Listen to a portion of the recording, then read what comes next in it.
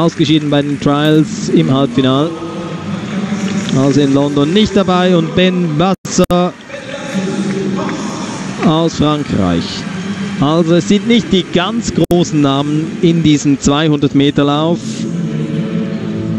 Die Frage ist, bleibt tatsächlich einer der Läufer unter den 20 Sekunden? Das ist in diesem Jahr noch keinem gelungen.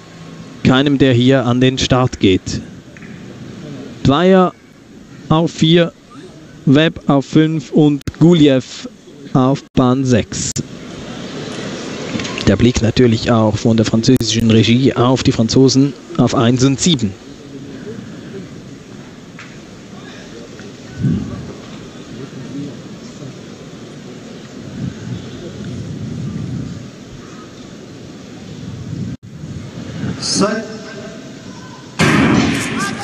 Und tatsächlich hat der Start beim ersten Mal geklappt. Jorandy Martina also mit seinem vierten Start dabei wird es bleiben. Wie fest kann Jorandy Martina mithalten? In der Mitte Webb und Guljev schnell unterwegs. Guljev zieht vorne Webb.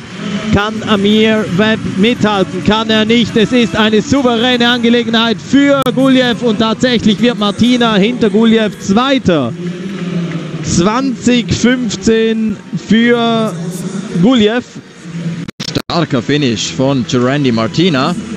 Der hat dann auch Webb einholen können und läuft Saisonbestleistung der 32-jährige Niederländer. Und es ist ja nicht so, dass er nichts gemacht hätte bislang am heutigen Abend.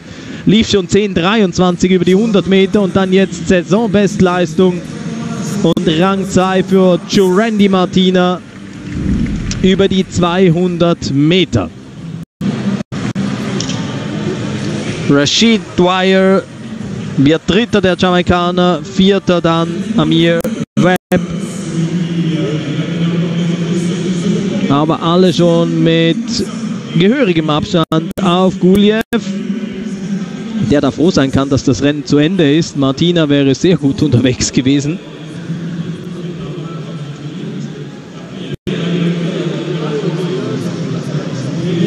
Also ein souveräner Auftritt von Guljev.